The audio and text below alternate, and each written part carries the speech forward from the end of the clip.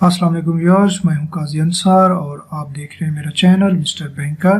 इस वीडियो में हम बात करेंगे कि अगर आपने बैंक से कोई भी लोन हासिल करना है तो लोन हासिल करने से पहले कुछ ऐसी बातें हैं जिनका जानना, समझना आपके लिए इंतहाई ज़रूरी है। तो बाज़ात इंतहाई ज़रूरत के पेश नज़र आपको लोन लेना पड़ जाता है। सबसे पहले आपको बैंक लोनिंग या किसी भी लोनिंग से इजतनाब करना चाहिए और दूसरे किसी ज़रा से जो अमाउंट आपको रिक्वायर्ड है, उसे पूरा करने की कोशिश करनी चाहिए। साफ़ ज़ाहिर लोग करते भी हैं।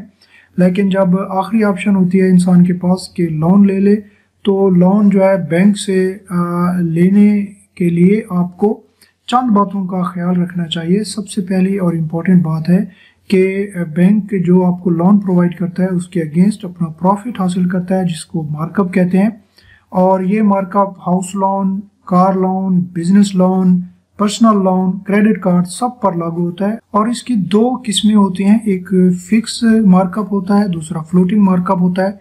फिक्स मार्कअप में आपको लोन के इनिशियली बता दिया जाता है कि आप पर कितना मार्कअप लागू होगा और वही तमाम जो टेन्योर होता है लोन का वही रहता है। फॉर एग्जांपल आपसे कहा जाता है कि आपसे पाँच साल का आपका लोन है तो अठारह परसेंट आपसे चार्ज किया जाएगा।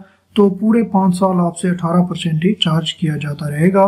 दूसरी मार्कअप की जो किस्म है, उसको फ्लोटिंग रेट कहते हैं। फ्लोटिंग रेट में जो भी स्टेट बैंक का रेट होता है, उसके ऊपर जो बैंक अपना मार्कअप लगाते हैं प्रॉफिट लगाते हैं तो स्टेट बैंक का रेट जो चेंज होता रहता है, उसको ऑब्जॉर्व करता है फ्लोटिंग रेट यानी वो चेंज भी होता रहता है। फॉर एग्जांपल जब 13.25 परसेंट पे काइबोर था स्टेट बैंक का जो पॉलिसी रेट है प्लस बैंक अपना चार्ज करते थे तो अब वो सेवन परसेंट पर आ गया है फ्लोटिंग रेट में, फिर जो बेस पॉइंट है वो सेवन परसेंट होगा प्लस जो बैंक अपना चार्ज करते हैं चार पाँच परसेंट तो इस तरह फ्लोटिंग रेट चलेगा। जबकि फिक्स रेट में पॉलिसी रेट स्टेट बैंक का जो भी हो, जो फिक्स हो चुका है रेट वही रेट लागू होगा फ्यूचर में भी। मार्कअप के दो पार्ट्स होते हैं। एक पार्ट को स्टेट बैंक का पॉलिसी रेट कहते हैं या काइबोर यानी Karachi inter bank offer rate कहते हैं।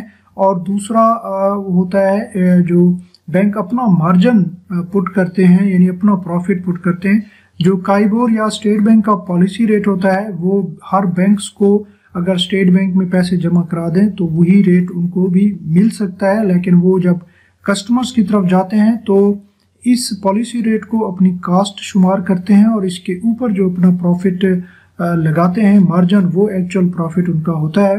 तो यानी मार्कअप के दो हिस्से होते हैं, एक काइबोर, दूसरा बैंक का मार्जिन जो प्रॉफिट का होता है तो ये इन दोनों चीज़ों से काइबोर बनता है।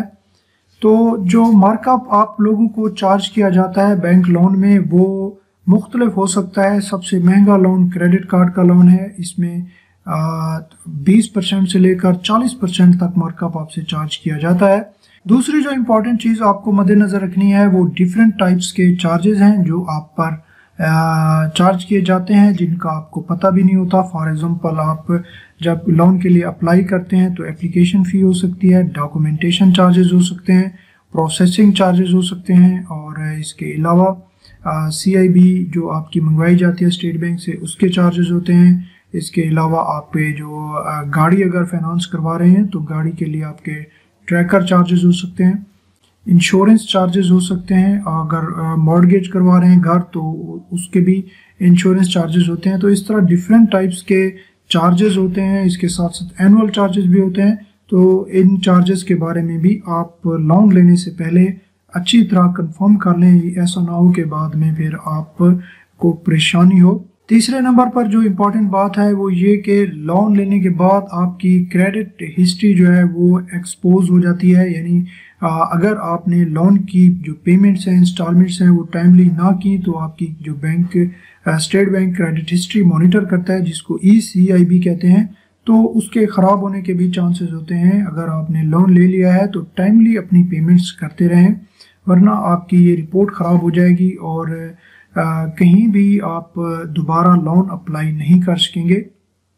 चौथे नंबर पर जो इम्पोर्टेंट बात है, वो ये कि बैंक से लोन लेना बहुत ही हेक्टिक जॉब है, यानी बहुत सी परेशानियों का डॉक्यूमेंटेशन का सामना करना पड़ सकता है और इसमें टाइम भी ज़्यादा लग सकता है। बहुत आपको किसी लोन के बारे में कहा जाता है कि 10 से 15 दिनों में आपका बन जाएगा, लेकिन उसमें तीन चार महीने लग जाते हैं क्योंकि उसमें बहुत सी डॉक्यूमेंटेशन इन्वॉल्व होती हैं और डॉक्यूमेंटेशन में भी बहुत से मसाइल होते हैं और बार बार आपसे डॉक्यूमेंटेशन मांगी जाती है वेरिफिकेशन पर्पजेज़ के लिए। इसलिए आप लोन लेने से पहले जहनी तौर पर तैयार हो जाएँ कि आप के लिए एक डिफ़िकल्ट टास्क है बैंक से लोन लेना, क्योंकि बैंक अपने तमाम तर सेटिस्फेक्शन करने के बाद आपको लोन प्रोवाइड करता है।